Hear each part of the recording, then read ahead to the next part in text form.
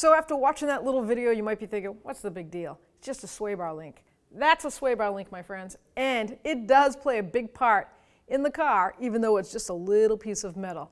And I'm going to talk to you about how to diagnose them, how simple it is to change these, and inexpensive, and where you can get them, 1aauto.com.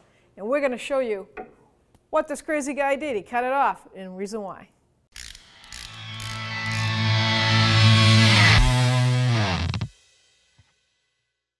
So it could have laid against here, the tire, going down the road. You can see, obviously, that's not good. So when it broke off the top, or it could have gone way back here, entangled up with the brake line and the ABS. Look how close it comes right here to the axle. Now that suspension's dropped. If we bring that up, that's really gonna ride right there on that CV shaft axle.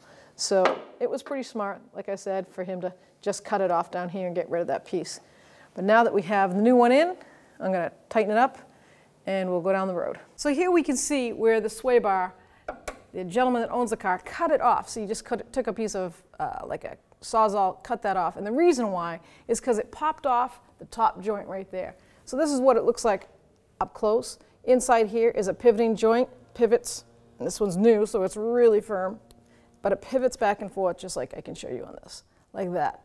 And what this does is it's in its name. It's a sway bar link. So here's the sway bar itself located and it goes over to the other side and this exact replica setup is there.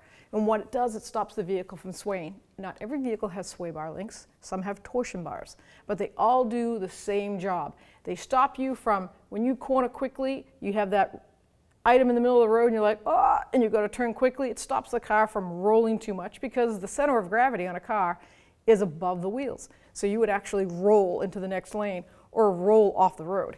This stops that vehicle from shifting the weight too quickly. It diverts it and keeps it stable. So it's sway bar. So I want to show you how it's supposed to look and why he cut this. Because it goes like that right there. And it popped off the top, came undone, understandable, but look at what would happen if he drove around. It was just dangling around, going all over the place. Now, is it safe to tie it up there? Well, yeah, but what if that plastic tie comes undone because of the weight, shifts, cuts right through it, then boop, hits that tire again, or comes down here, even worse, gets jammed in there, could fall backwards, break your brake line off. So he did the right thing, but it's just a matter of being able to know what to do, how quickly to do it. When that happened, that noise was unbelievable, he said. He thought the wheel was falling off. So here we have the passenger side. It's still connected. So that's a good visual of what it's supposed to look like. And you can see the sway bar right here, and that's a link. It's attached to the strut, pretty common. This is how they're usually 90 of them set up. They're not as long, some are only this big, some are from the control arm to the sway bar. They're, they have all different types of mounting and all depends on the vehicle. So now we're going to show you a split screen of how it looks going down the road, broken and non-broken.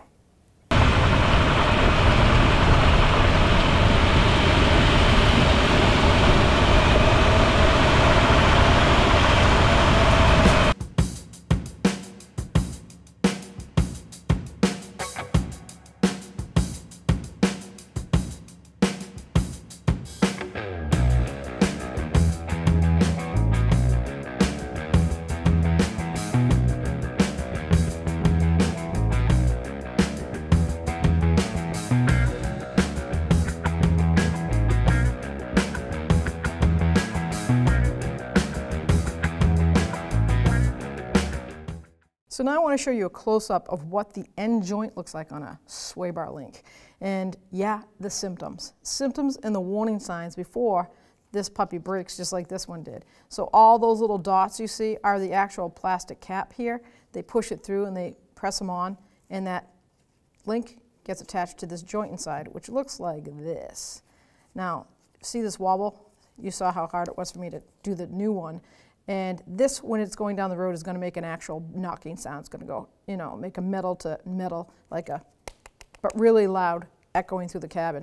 And that tells you that this joint has way too much play and it's not absorbing the banging on the ground. So it travels through the cabin. You can hear it. So this is what it looks like in there. It's just a little ball joint, right? Little milled out ball on top of a stud. And it goes into a cap that's locked in with grease, sealed and that allows it to pivot on turning corners, up and down, on bumps. And what happens over time? It just wears out. Now you can't feel it, but I'm telling you, there's a flat spot in here. It just knocks and knocks.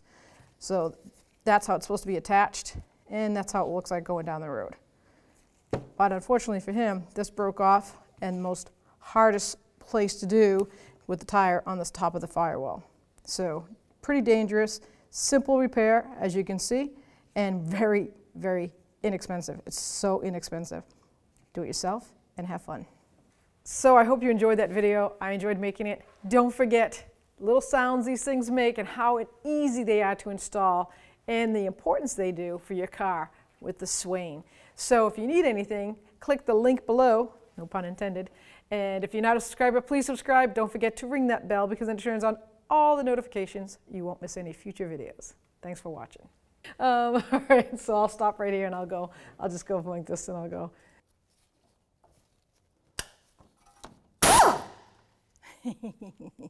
this is where the time is spent. Ah, what am I saying? Just keep it rolling. What do I say?